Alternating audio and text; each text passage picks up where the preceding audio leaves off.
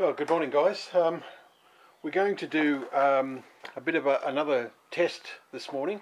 We're going to uh, use the uh, Boom gel stain, and um, I'm going to cover some tiles. Now, I've made a, a special jig here to uh, paint eight tiles at once. Um, um, the reason I've done this is because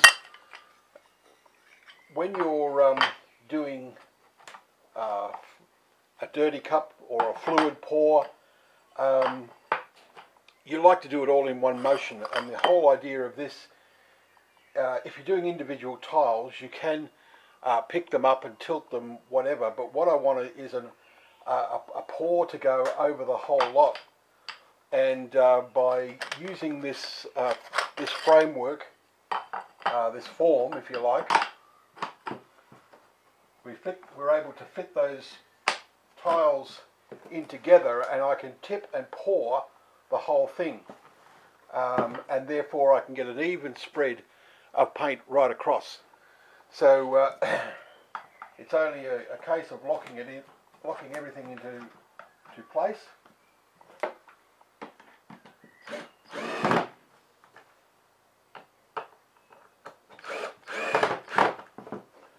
now the tiles are ready to, to pour. Alright, so now we're set up and I've got the blues out of the, the Botany uh, Blues collection in Boom Gel. Now, for all you boomers, um, this is what I've done. Uh, as you can see, rather than pouring them straight into um, a cup, what I have done is I've mixed 50% water with the boom gel. Now we, we can do that. Um, it does apparently um, lessen the effectiveness of it, but I'm go we're all going to see. Um, there's two things. Um, I, the reason I'm doing that, firstly, is to make it flow a lot quicker. Um, you'd be aware that using boom gel, um, you've got to use a lot for it to make it to move. And I think most of us fluid painters who have used acrylics are used to having a mix which uh, is more dynamic, moves a lot quicker. And so um, I've added water, it's just water, I've added nothing else in there. So what we're going to see is a result of, uh, of that mixture. So I will pour my paints.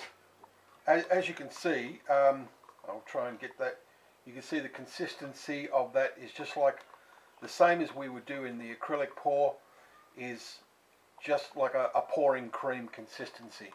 So that's what I've been able to do just by adding half water and half paint. And half of the boom gel I should say. So I'll just give those a quick mix before we pour those in.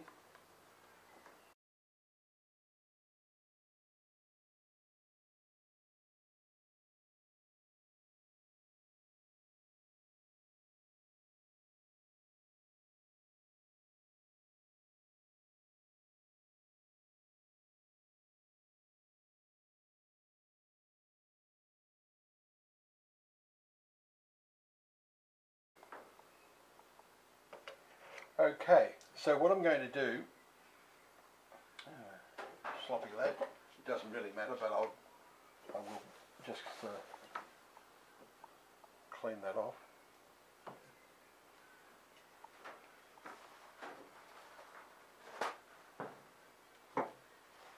It's not going to be a, a flip cup, obviously, but it will be a dirty pour, as you can see. And so try and get you in a little bit closer. One stir. And here we go.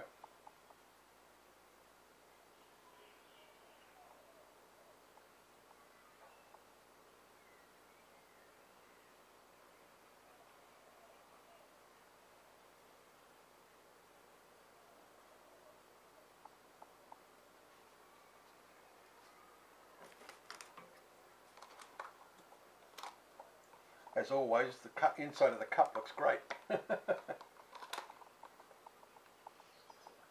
okay, so here's where we are able then to utilise our tilt.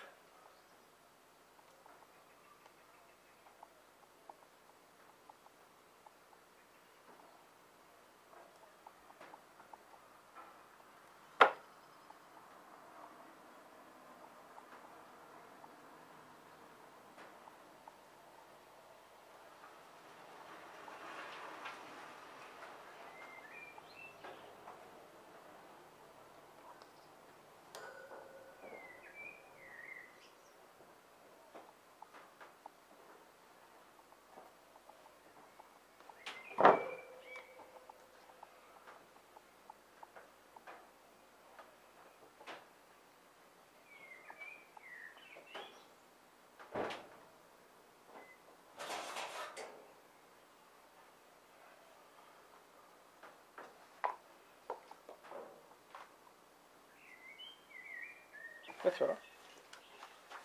All right, so now we just remove this from the, he says, from the pouring frame.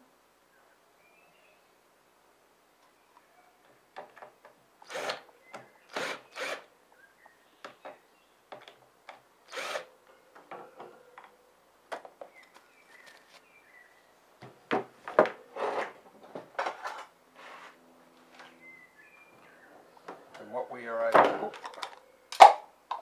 things on the floor, what we're able to do then is separate them by running our spatula underneath and then take each tile and gently lay, lay them out.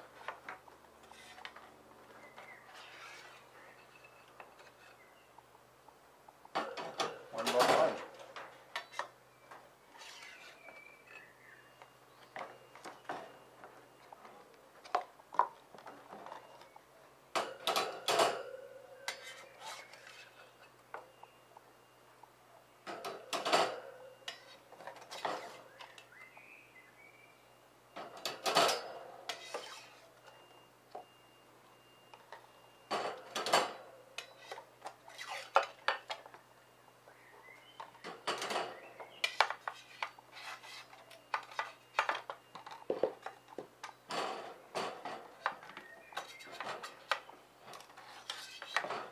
Last one stuck down a bit, there we go.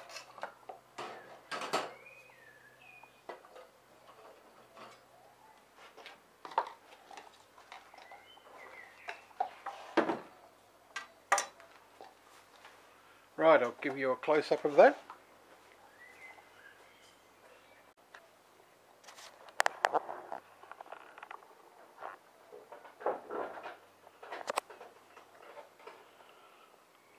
Right, so there we have the result.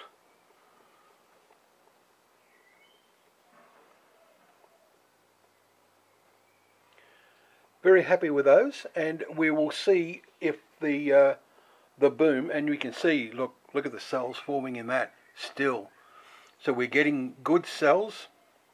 We're getting a lovely smooth finish from the boom boom gel stain, and uh, hopefully that's all going to um, dry uh, beautifully smooth. It's a nice flat surface and it's quite even there because I've spent a lot of time on this table making it uh, making it level. So um, so that's the success. Let's see how they dry. I have to wait, but your next uh, vision will be of the dried tile. So here we are, next uh, day and uh, they have completely dried and the cells have have remained to the to the most part. Um, some don't have cells so these couple over here uh, although the one on the left is uh, has got cells but not so much this one. But the cells are evident here. And in here. And uh, look, there's a good, decent coverage on the tile. Um, so I, I think that with a coat of resin, they're a little bit dull, but with a coat of resin, I think that they will come up really nicely. So we've got to wait for a, little while, another day at least, uh, before we put any resin on them. Um, so yeah, look, success has been achieved. So you can cut the uh, the boom gel by, well, in my case, I did it by 50%. I didn't mean to do it that, that much. I was aiming on 25%, but as it turned out, um, I added too much water into the first one. I thought, oh well, well, because uh, I was going to graduate from adding 25% and having a look at the result, and then doing a 50% and having a look at the result. Well, we went straight to the 50%, and uh, I think you'll agree um, that uh, we got quite a good coverage. Thanks for watching.